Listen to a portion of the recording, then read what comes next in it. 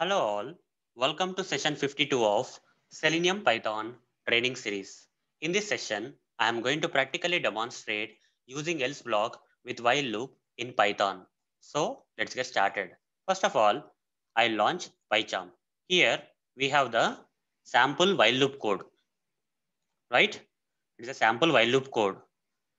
So how to use else block with while loop then, okay? This is a while loop code but how to use else block with while loop.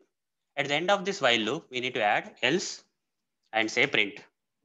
Okay, else block got executed like this. Okay, we can use else block with while loop, but how does this else block will work?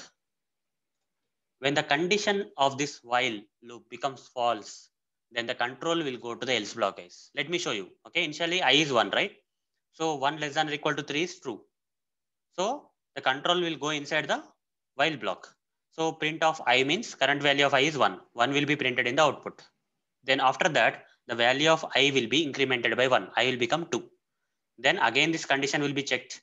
2 is less than or equal to 3. Still true. Again the control will go inside the while loop only. Here print of i. That is print of 2. 2 will be printed here. i will become 3. Again condition is true.